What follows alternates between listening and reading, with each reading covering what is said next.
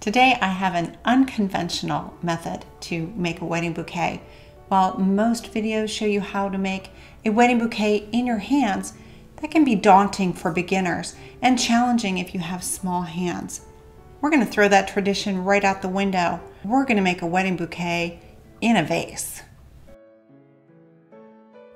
Before we get too excited about this, let's talk about our supply list. One of the reasons I'm going to use a pre-made bouquet is they're already designed for you. They're called a chop and drop in the industry, and you shouldn't have to do too many adjustments. And then I've got a vase to help us assemble it all. This is a cylinder vase. It's straight up and down. If you don't have one and your vase is more like this one, it's okay. I've got um, another method to make that work. The other things that we're going to need are a couple of rubber bands. If you don't have that, it's okay, chenille stems. Some nice sharp snips, our stem tape, a couple of feet of ribbon of your choice, and then pins, but I do have another method to secure this. Wait till the end. All right, so let's get started. Now with this pre-made bouquet, what you want to do is try to keep the original integrity of the bouquet as it comes. So you're going to unwrap it. And like anything, you'll want to clean all the leaves where you're going to be holding this bouquet. So you just strip those off.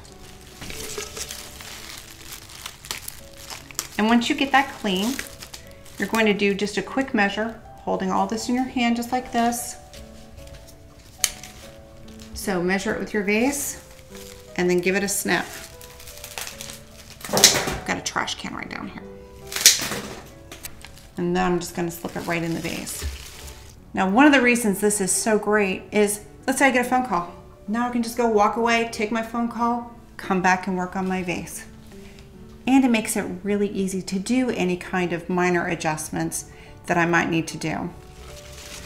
So I don't like the yellow in here. I'm going to take that out. This makes it so easy to add something that I really love in it, which are these beautiful pink roses. Let me do a quick adjustment. Now that we have our flowers in a vase, this allows us to do any kind of adjustment we might want to do or add something beautiful to this.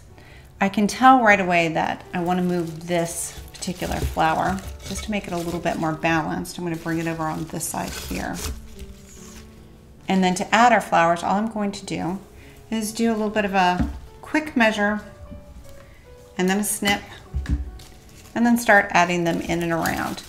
And what I'm going to do is work with them all the way around the edges to the inside. And you can see how having this in a vase and not your hands allows you a lot of creative freedom, especially if you're inexperienced.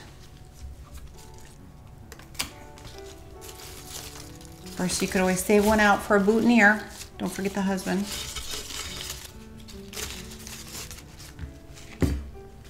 And last one. Okay, this is where the magic comes in. I love this part all we're going to do now is take this rubber band and we are going to slide this up the base and allow the rubber band to catch it.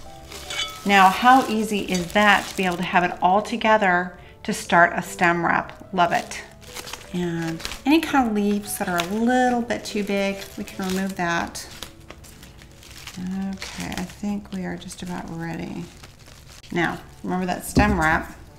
What we're going to do is pull and then twist the bouquet until you get about a hand width. You don't really need much more than that.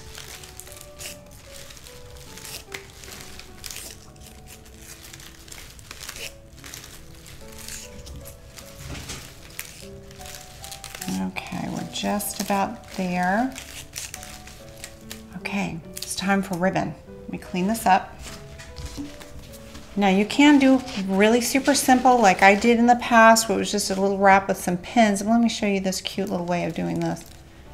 All I'm going to do is start at the bottom and wrap towards the top.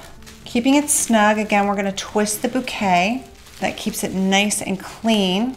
And when we get to the top of that tape, right, all I'm going to do is a cute little twist of the ribbon. I love how this just kind of gives it, I don't know, just a little bit more focus. And you can keep wrapping this around. Now the tuck is what's interesting, is what we want to do is slide it up under the ribbon. And I have found that a chopstick is one of the easiest things to use. This is a bamboo skewer that I had at the house. And all I'm going to do is just slide this right up under to secure it.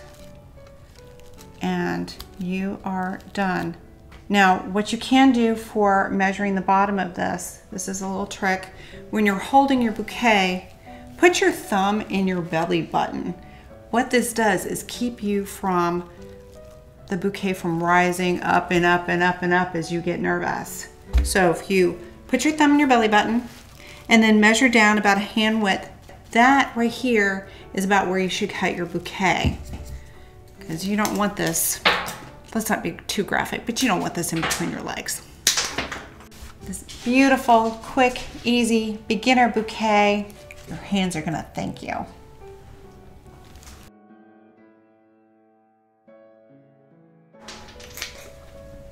Okay, all done.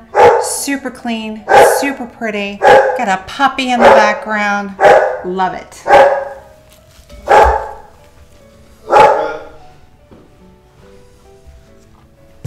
Do you want to get your your outro again? I thought it was funny.